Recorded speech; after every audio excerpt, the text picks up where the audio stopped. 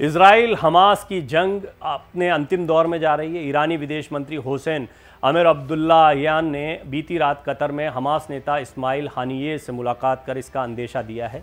Iran ने कहा कि वो फिलिस्तीन लोगों के लक्ष्यों को प्राप्त करने के लिए पूरा सहयोग देगा।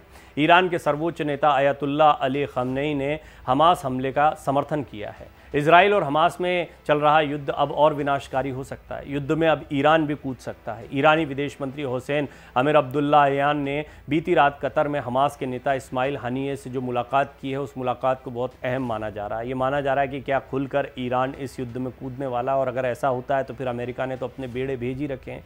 वो भी खुलकर अगर मैदान में आता है तो ये युद्ध बहुत बड़ा युद्ध हो सकता है।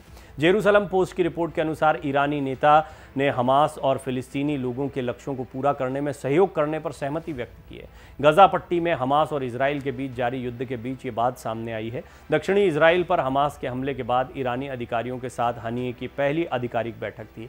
जेरूसलम पोस्ट ने हमास के हवाले से बताया कि दोनों नेताओं ने इसराइल को सबक सिखाने की बात कही है, आपस में इस पर सहमति बनाई है। हनीय ने कहा है कि इस लड़ाई के बाद एक नया इतिहास बनेगा, जो बिल्कुल भी वैसा नहीं होगा जैसा पहले था।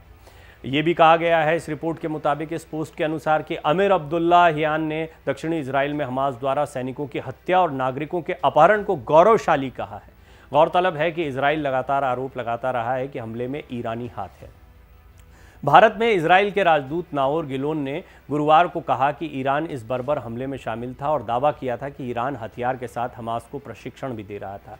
सबसे पहले ईरान के सर्वोच्च नेता अयातुल्ला सैयद अल खमनई ने हमास के हमले का समर्थन करते हुए कहा कि इसराइल को सैन्य और खुफिया दोनों मामले में बड़ी हार का सामना करना पड़ा है। हालाँकि ईरानी नेता ने कहा कि हमास द्वारा किए गए हमले में वो शामिल नहीं था। युद्ध में हिजबुल्ला शामिल हुआ तो इसराइल को भारी नुकसान भी होगा और ईरान ने हमले रोकने की धमकी भी दी। ये भी थोड़ी महत्वपूर्ण बात है, मैं आपको समझा देता हूँ। एक तरीके से कहा जा रहा है कि हालाँकि ये शामिल होंगे शामिल होंगे कहा जा रहा है, पर एक तरीके से देखा जाए तो अपरोक्ष रूप से ये शामिल हैं।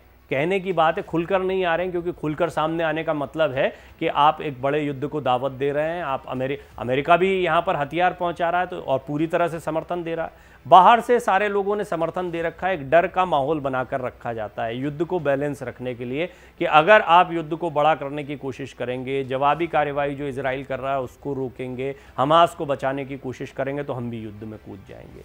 और ऐसा करने के लिए ईरान को फिर अपनी आर्मीज उतारनी पड़ेंगी, हथियारों की मदद दी ही जा रही होगी। ये आरोप भी लग रहे हैं कि हमास की ट्रेनिंग भी वहीं पर हुई है, जिस तरीके से उन्होंने हमला किया, ये सामान्य आतंकी संगठन का काम नहीं है। बाकायदा प्रशिक्षित आर्मी के द्वारा इन इन लोगों को तैयार किया गया था। ये जिनको आतंकी कह रहे हैं, ये सामान्य आतंकवाद की घटना को अंजाम देने वाले लोग नहीं हैं। ये सैनिकों की तरह ही ट्रेंड हुए हैं और इनके पास हथियारों की तादाद और ताकत को देखिए अंदाज़ा लगाइए, ये किसी बड़े देश की आर्मी से कम नहीं दिखाई पड़ता। है तो कुल मिलाकर, बेशक हम नहीं थे, कहा जाता है, लेकिन पीछे बड़े बड़े देश शामिल दिखाई देते हैं। ईरान के विदेश मंत्री हुसैन अमीर अब्दुल्लयान ने शनिवार को इसराइल से गजा पर अपने हमले रोकने का आह्वान किया। उन्होंने चेतावनी दी कि अगर हिजबुल्ला लड़ाई में शामिल हुआ तो युद्ध पश्चिमी एशिया के अन्य हिस्सों में फैल सकता है। इससे इसराइल को भारी नुकसान उठाना पड़ेगा।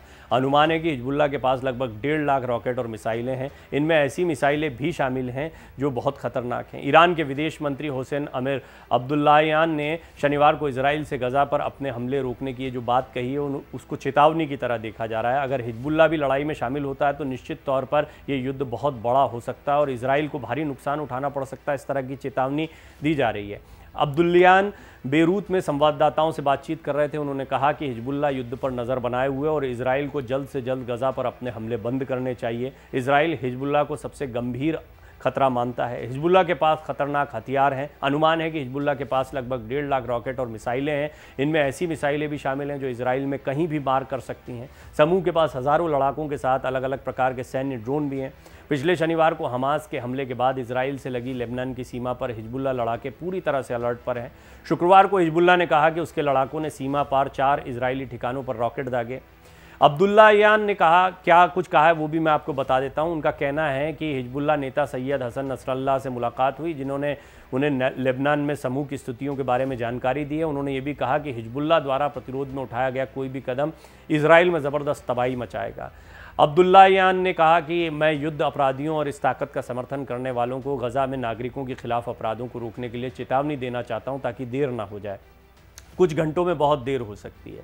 आप इन चेतावनियों से अंदाज़ा लगा सकते हैं कि युद्ध कहाँ जा रहा है। दरअसल, अब आप युद्ध की स्थिति को समझिए।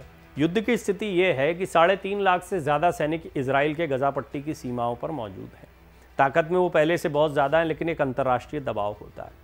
ये अंतर्राष्ट्रीय दबाव अब भी है, लेकिन इसराइल को एक मौका मिला। इसराइल को मौका मिला हमास के आतंकी हमले के बाद हज़ारों मासूमों की जान चली गई और बहुत बेरहमी से इनको मारा गया।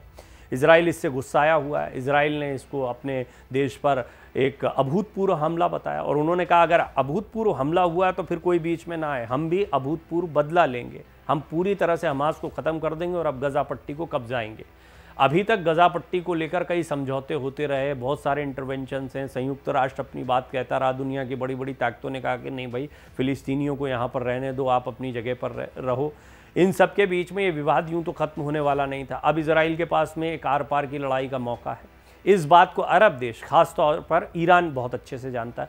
अरब देश में बार बार इसलिए बोलता हूँ क्योंकि आप अगर इतिहास में जाएँगे तो 50 साल पहले अरब देशों ने मिलकर इसराइल पर हमला किया था। लेकिन अब धीरे धीरे इसराइल के साथ वो रिश्ते मज़बूत करने में लगे हैं कि यहाँ पर स्थितियाँ सामान्य होंगी तभी बात बन पाएगी। क्योंकि ये देश भी प्रभावित हो रहे थे, इनका इनके यहाँ पर सैलानियों का आना भी प्रभावित हो रहा था, इनके व्यवसाय, इनके अंतर्राष्ट्रीय संबंध, सभी चीज़ें प्रभावित हो रही थी। अब आप देखिए कि अरब देशों के संबंध जो हैं, वो दुनिया के अन्य देशों से अब अलग तरफ़ जा रहे हैं।